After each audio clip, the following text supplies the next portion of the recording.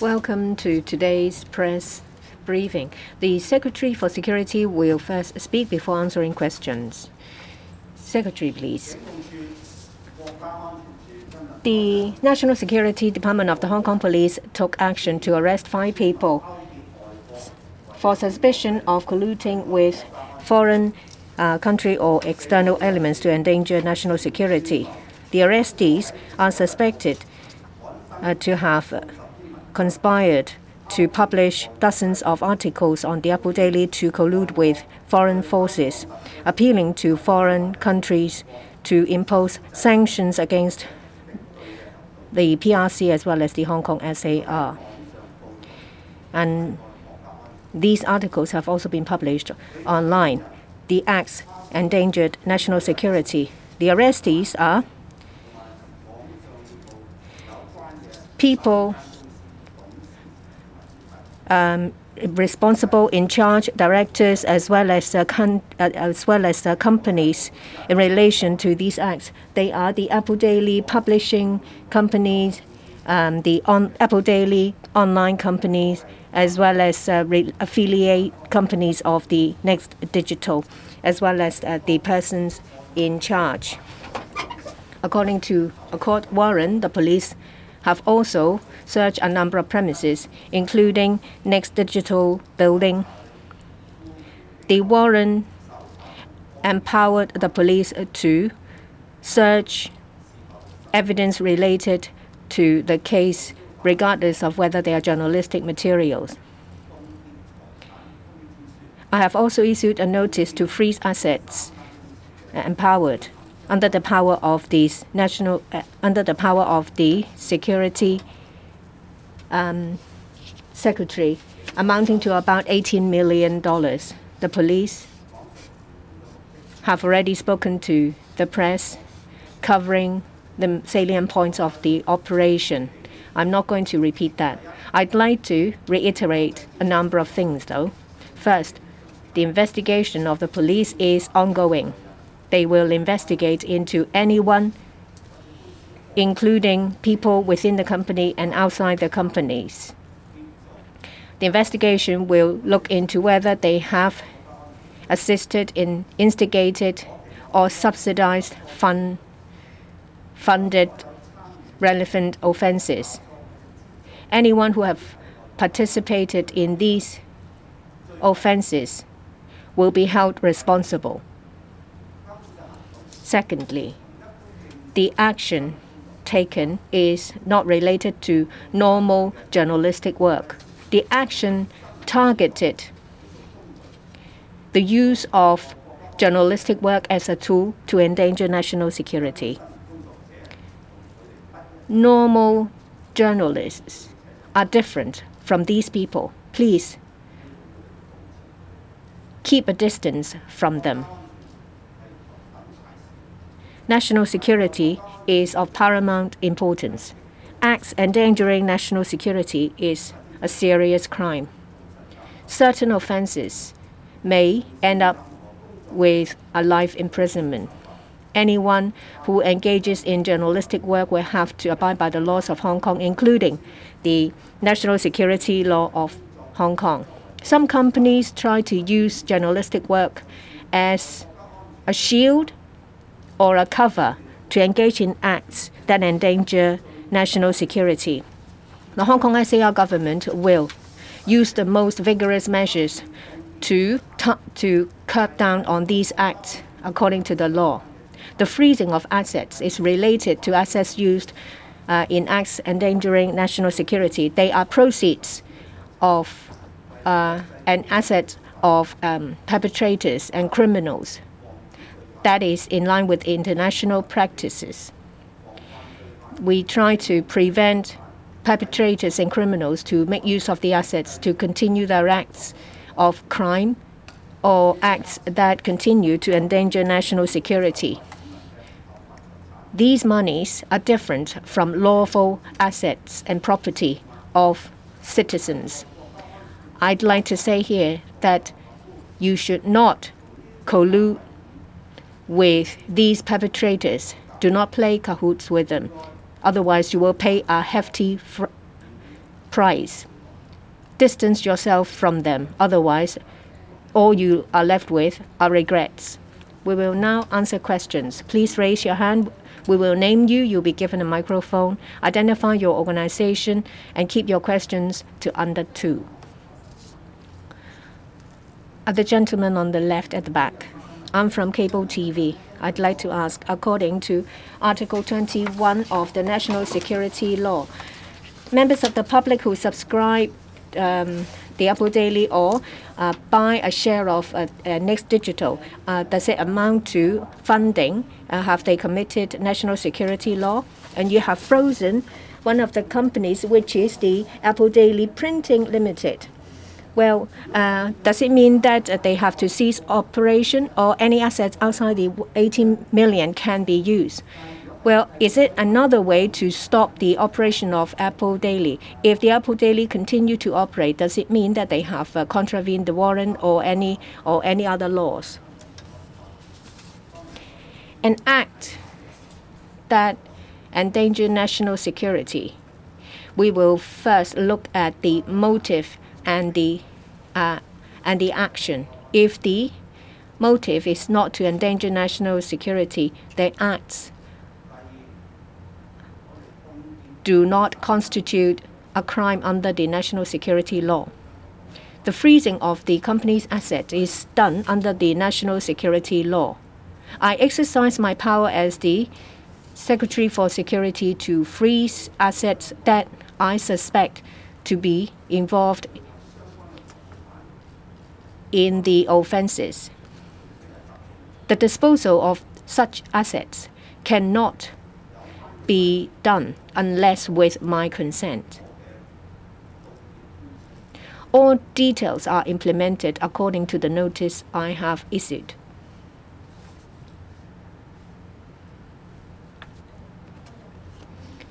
On the right hand side, my right hand side, uh, the lady wearing a pink mask.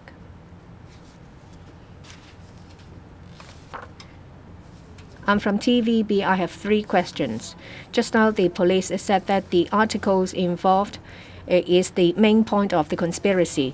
What plans are they? There are dozens of articles. Which ones are related to appealing to foreign countries to sanction Hong Kong SAR or the PRC? And what form are they? Are they just um, um, are they just editorials or uh, news articles or uh, comments. Now let's consider the case this way. As I explained just now, the persons involved in this case on this occasion published a number of articles through Apple Daily, and it is part of the plan to collude with foreign forces to endanger national security. Of course, in police investigation, evidence will be gathered and adduced to the court and the investigation is still ongoing as to how the evidence would be used in a case as to what evidence would be adduced for full consideration by the parties. Definitely, this will be looked into by the Department of Justice in the process. So on this occasion, the emphasis is a plan of conspiracy to collude with foreign forces. And what you just mentioned forms part of the conspiracy. And the police is now investigating into the case, so I'm afraid I'm not in a position to disclose all the details now. You also asked another question about the relevant companies continuing with their operations. We act in accordance with the laws of Hong Kong. Of course, it's up to the company to decide on its own operational matters. As far as the laws are concerned, definitely we will fully consider all the measures we can take because endangering endangering national security is a grave uh, crime, and definitely we will deploy all the measures available to tackle that. And in terms of the police's action, definitely the police would plan the next step in accordance with the evidence gathered and the process of uh, the progress of investigation. The next reporter. Questions from RTHK English News. First, can um, Mr. Lee tell us whether the reports concerned or commentary or whether Apple Daily was simply quoting people, like interviewees and people they interviewed. How can reporters draw the line when they are reporting on foreign sanctions or actions targeting China or Hong Kong without getting into trouble? And are you saying media outlets should in future self-censor, self-censor all these content? Second question, when you say people should distance themselves from Apple Daily quote unquote criminals, are you saying that people should not buy Apple Daily papers and stocks anymore? They should not share the posts or they should not um, even um, like the posts on social media? Thank you very much. Or they will get into trouble. Thank you. This case involves a conspiracy. We are talking a conspiracy in which there are a series of acts. The police have already informed the media that one of the acts involved publication at Apple Daily and also online news regarding articles that invite foreign countries, external elements, to impose sanctions or take hostile activities against Hong Kong and the PRC. This is the conspiracy. We are not talking about media work or journalist work. We are talking about a conspiracy in which the suspects try to make use of journalistic work to collude with a foreign country or external elements to impose sanctions or take hostile activities against Hong Kong and PRC. So we need to look at that. And also, we need to differentiate what these suspects have done from normal journalistic work. Normal journalistic work, of course, takes place freely and lawfully in Hong Kong and I do not envisage any professional journalist would be conspiring to do any act to endanger national security. So the answer is simple. Do your journalistic work as freely as you like in accordance with the law, provided you do not conspire or have any intention to break the Hong Kong law and certainly not the Hong Kong national security law. The second thing is the suspects have been arrested on strong evidence that they are conspiring to endanger national security. It is your choice whether you will regard them as part of you who go about your journalistic work lawfully and properly. If anybody's act causes damage to the reputation of journalistic work as a whole because they are involved in a conspiracy, then it is only to the good and credibility of Hong Kong journalistic work that action is taken against the criminals who make use of journalistic work as a tool to further their criminal activities. Uh, this male reporter in grey on the right hand side.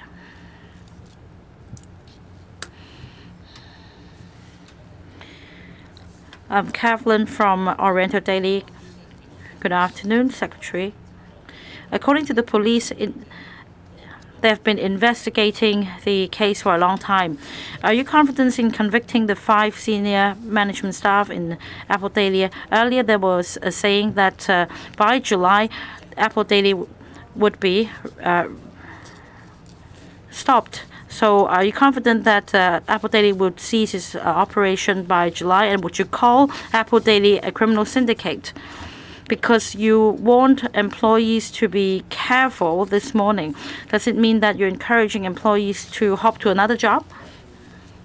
The police have, have taken action on the basis of facts and evidence, and I'm very confident in the police's operation this time. And according to the information provided by the police, in terms of the gathering of evidence, I would say that I have um, a lot of trust in the police, and I am confident that the police will be able to complete the investigation and yield substantive result. Second, we have rule of law in Hong Kong, and our actions are based on the laws of Hong Kong. So in relation to what action should be taken against any particular company, definitely we'll consider the actual situation, the evidence available, and the and what is allowed under the law and will consider all options because national security is of paramount importance. And as I said a number of times, endangering national security is a grave offense, and we will make sure that the criminals will feel the full force of the law. So if the law allows us to take effective and lawful measures to tackle the uh, criminal activities, definitely we will um, pursue accordingly. As for the suspects arrested in this case, they play a crucial role in the company's operation. Now, the investigation is still ongoing, and the evidence gathered will focus on um, the suspects and as well what oper- uh, what action be taken. I think that uh, we should first wait for the police to complete its investigation. However, in terms of any person who assists, uh, or funds any activity that endangers national security, these uh, individuals will be breaking the national security law. So everyone has to decide for themselves. But let me make it very clear that first of all, we must not makes up uh, reporters who are doing normal, lawful journalistic work with these criminals. Because, like I said, this case involves a criminal conspiracy. So everyone must decide for themselves. Uh, two more questions.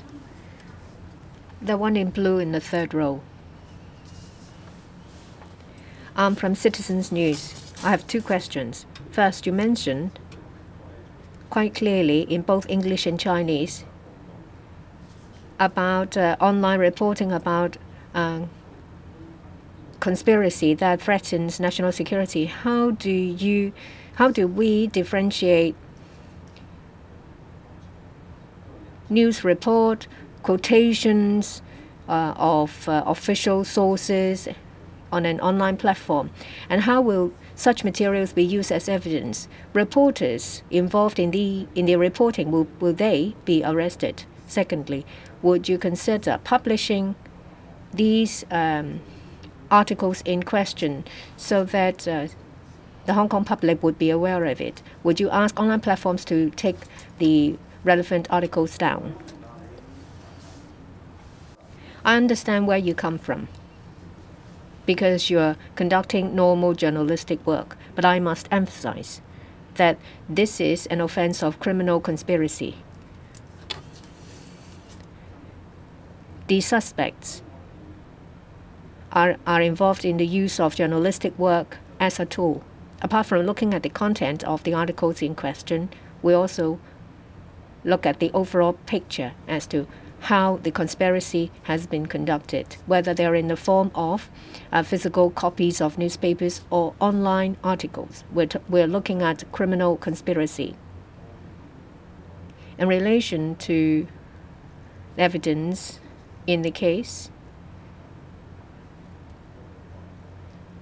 they may be used in future investigation as well as in court trial, so I'm not going to divulge any details. Thirdly, whether it is the company or reporters, if they're doing their work, all they need to consider is whether whether they are working within the laws of the Hong Kong. If it's allowed in the law in the laws of Hong Kong, of course. If it is normal journalistic work, you're free to do so. It's just like what you're doing now. It's a normal uh, line of work in the journalistic world. Please understand that our actions are not targeting um, press freedom or journalistic work. We target conspiracies that threaten national security.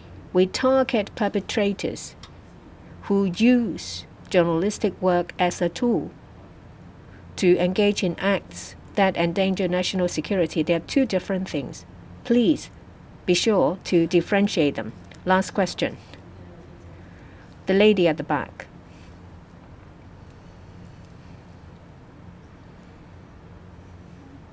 I'm from commercial radio. You mentioned a number of times that this is different from normal journalistic work. They should not be mixed together. A number of reporters have asked how to draw the line, how to make the differentiation. Well, are they just simply quotations used in an article or commentary? A lot of newspapers and uh, the press have covered relevant sanctions. Does it mean that all of us will have to be uh, arrested? But the actions are taken before the 1st of July. Any political considerations? Or is it uh, in the wake of the um, uh, counter sanction laws against uh, counter foreign country sanction laws imposed by the PRC? When you conduct your work, all you need to do is to consider your action and your motive, whether they are involved in acts endangering national security. If there is none of these, then you will not be caught by the law because you're doing something lawful. Secondly, we do not. It's not the case that we are targeting the press. Your the answer to your question is negative because we're looking at criminal conspiracy in our investigation. If anyone has participated in, in instigating, assisting, or uh, conniving with acts that endanger national security, then they might be arrested.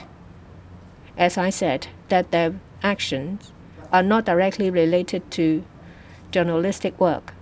We have been operating in accordance with the law when sufficient evidence has been gathered by the police.